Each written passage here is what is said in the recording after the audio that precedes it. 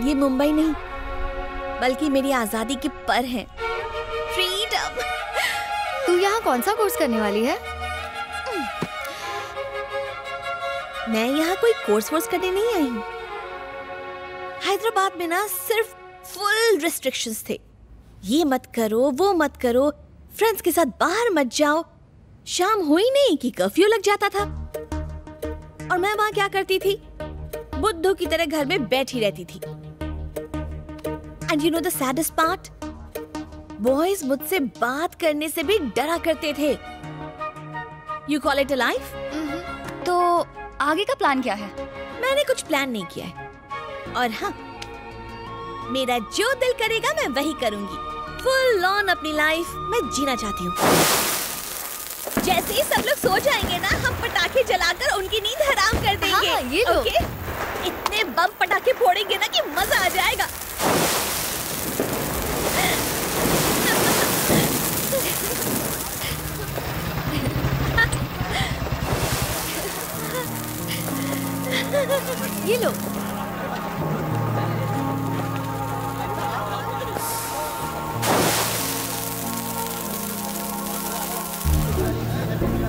वो हमें कब से घूरे जा रहा है? दिवाली का बम्पर ऑफ़र समझकर लाइन मारने आ गया है।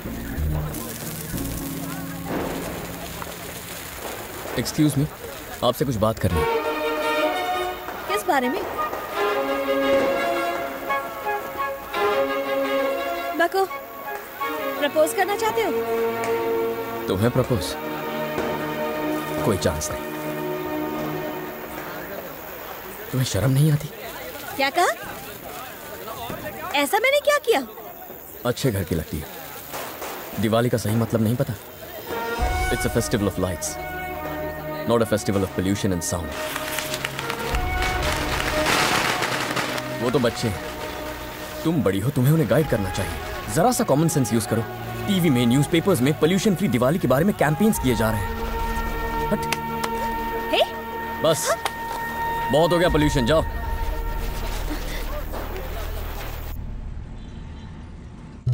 तुम्हारे बाल बहुत अच्छे हैं। ओके ओके, बहुत मस्करी हो गई। चलो, काम करो। हाय गुड बाय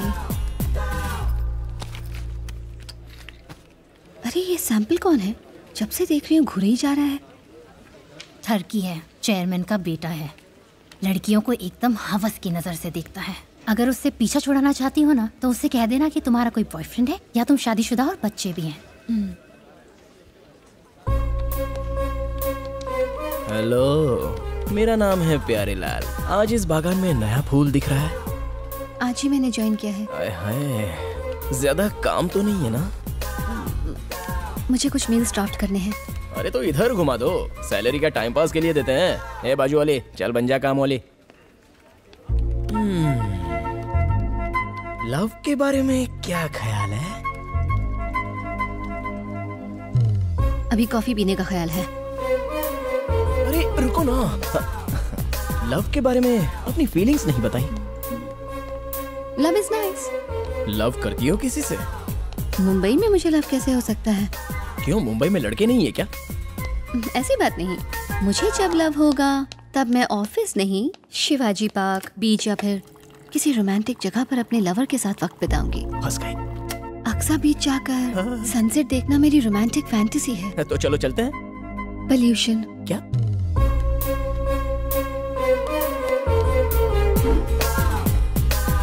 पोल्यूशन में सनसेट दिखता ही नहीं। वहाँ पास में ही एक लेदर फैक्ट्री है। अगर वहाँ जाएँगे तो कैंसर हो जाएगा ना। प्यार में पड़कर नहीं कैंसर से मर जाएँगे। एक्सा बीच वाली हमारी फैक्ट्री को सील कर दिया गया है।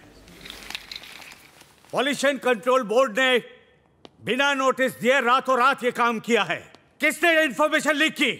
जिस थाली में खाया उसी में छेद किया। मैं तो कहता हूँ सबकी सैलरी रोक दो। हमें पता चला है कि हमारे ऑफ़िस से ही किसी ने ये इन्फॉर्मेशन लीक की है कि हमारी फैक्ट्री से कितना पॉल्यूशन होता है। बताओ कौन है वो गद्दार? मुझे ऐसी फैक्ट्री से नफरत है जो कबाब में हड्डी बन के लव में पॉल्यूशन भर देती है।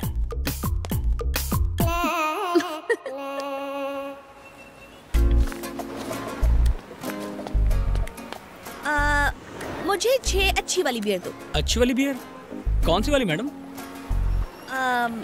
इतने सालों से ये धंधा कर रहे हो पता नहीं अच्छी वाली बियर कौन सी है?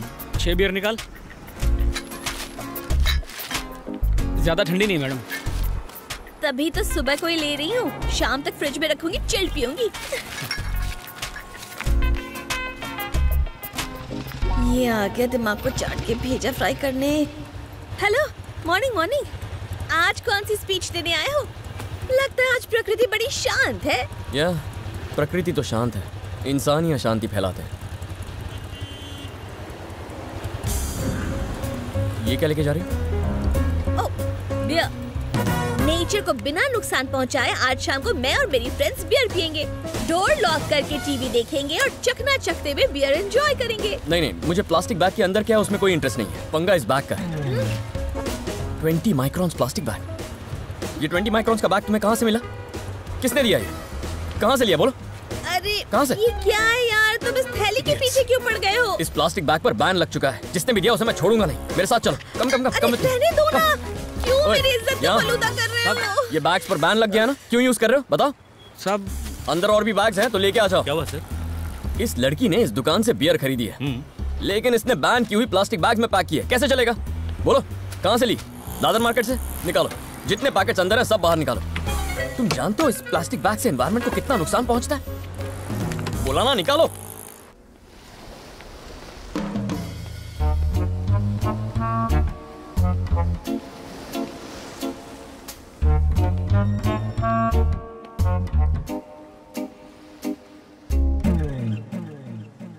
मॉर्निंग में एलबी केमिकल्स में मैंने जॉब ज्वाइन की। इवनिंग में उनकी एक फैक्ट्री बंद हो गई। यस मुझे तो लगा था कि उस फैक्ट्री के बारे में इंफॉर्मेशन जमा करने में बहुत महीने लग जाएँगे।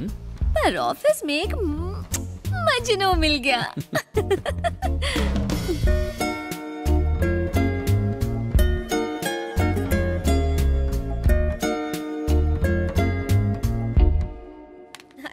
मुझे लगा था।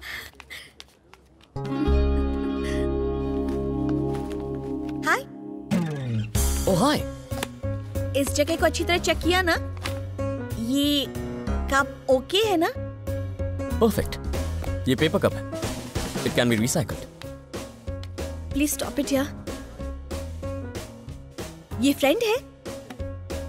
इस ज्ञान बाबा के अलावा तुम्हें और कोई नहीं मिला?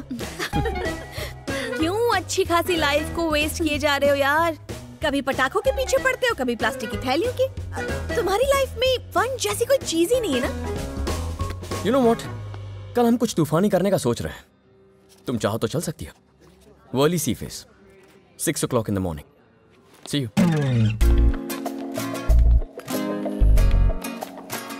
आओगी तो अपने साथ। दो दिन का सामान पैक करके ले आना।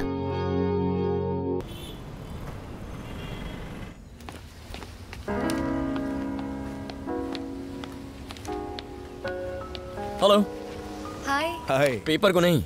नेचर को देखकर चाय पीजिए।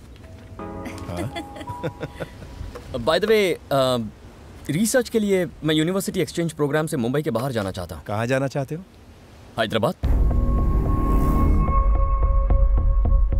एक्चुअली वो एक फास्ट ग्रोइंग सिटी है। एनवायरनमेंट पर मैं जो स्टडी कर रहा हूँ उसके लिए वो एक अच्छी केस स्टडी है। इसीलिए सोच रहा हूँ। अभी नहीं आनंद। पिताजी की तबीयत आजकल ठीक नहीं रहती। आए दिन हमें चेकअप के लिए हॉस्पिटल के चक्कर लगाने पड़ते हैं। तुम यहाँ होगे तो अच्छा होगा। अच्छा? वो तो ठीक ही लग रहा है। नो सुरेश? मुझे उनकी सेहत की फ़िक्र है आनंद ओके बाय आपने ऐसा क्यों किया? मैं नहीं चाहता कि हैदराबाद का साया भी इस पर पड़े।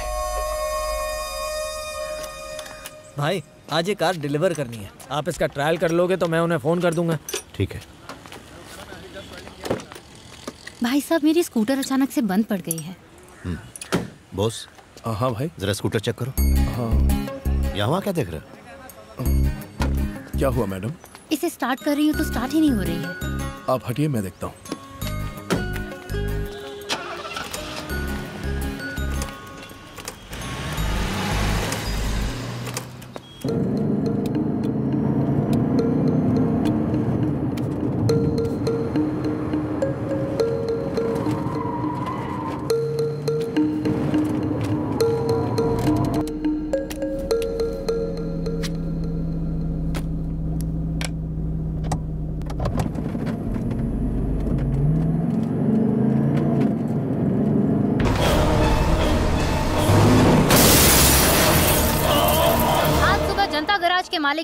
कुमार का रोड एक्सीडेंट हो गया। पुलिस का कहना है कि यह हादसा उस वक्त हुआ जब सुबह सुबह वो अपनी गराज की एक गाड़ी का टेस्ट ड्राइव करने निकले।